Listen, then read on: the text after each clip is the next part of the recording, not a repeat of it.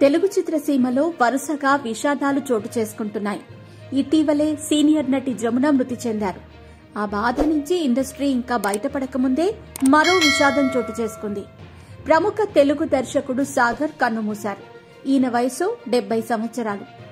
దర్శకుడు విద్యాసాగర్ రెడ్డి గత కొంతకాలంగా అనారోగ్యంతో బాధపడుతున్నారు. ఈ క్రమంలో ఆయన ఆరోగ్యం విషమించడంతో చెన్నైలోని తన నివాసంలో తుది శ్వాస విడిచారు. దర్శకుడు సాగర్ రాకాసి లోయ చిత్రంతో డైరెక్టర్గా తన సినీ జీవితాన్ని స్టార్ట్ చేశారు. ఇక ఆ తర్వాత అమ్మ దొంగ స్టూవర్ట్ పురం దొంగలు రామసక్కనోడు ఖైదీ బ్రదర్స్ అన్వేషణ వంటి సినిమాలను తీశారు.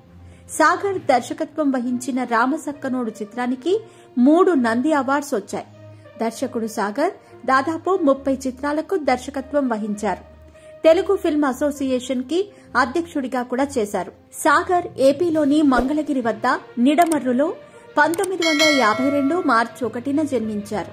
ఇక ఆయన మొదటి సినిమా రాకాసిలోయ పంతొమ్మిది వందల ఎనభై మూడులో విడుదలై మంచి విజయాన్ని అందుకుంది.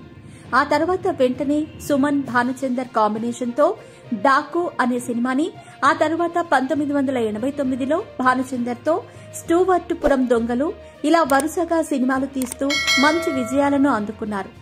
సాగర్ దర్శకత్వం వహించిన కొన్ని ముఖ్యమైన చిత్రాల విషయానికొస్తే Khaidi brothers action number one Anveshana Amma Donga రామసక్కనోడు ఓసినా మరదల స్టూవర్ట్పురం దొంగలు రాకాసిలోయ వంటి చిత్రాలున్నాయి.